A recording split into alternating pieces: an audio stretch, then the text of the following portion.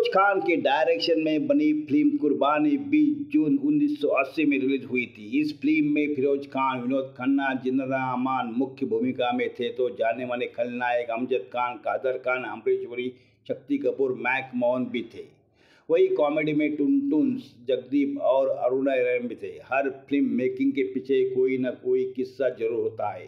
कुर्बानी फ़िल्म के चवालीस साल पर फिरोज खान के बेटे फरदीन खान ने दिलचस्प खुलासा किया है।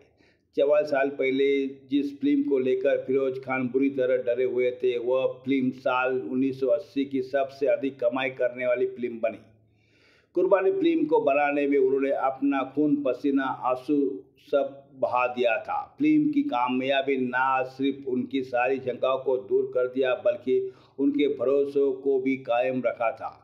फिरोज खान के लिए यह पल किसी जादू से कम नहीं था। फिरोज खान के बेटे फरदीन खान भी एक्टर है और लंबे समय से फ़िल्मों से दूर है।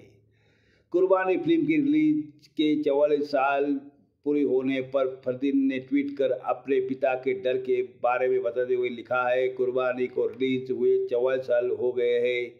फिरोज खान के शब्दों में बे, में, बेटा, मैंने इस फ़िल्म को बनाने के लिए अपना सब कुछ दाव पर लगा लिया था।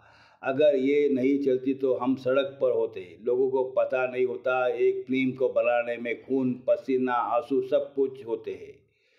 कुर्बानी फ़िल्म को फिरोज खान ने के के शुक्ला के साथ मिलकर लिखा था, कल्याण जी, आनंद जी और जी की जोड़ी ने इस फ़िल्म को संगीत दिया था।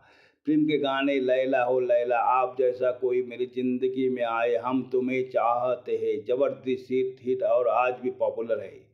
कुर्बानी फ़िल्म रिलीज़ हुई तो बॉक्स ऑफ़िस पर कमाई का रिकॉर्ड तोड़ दिया। कहते हैं, मुंबई में ही तीन महीने हाउसफुल चली थी।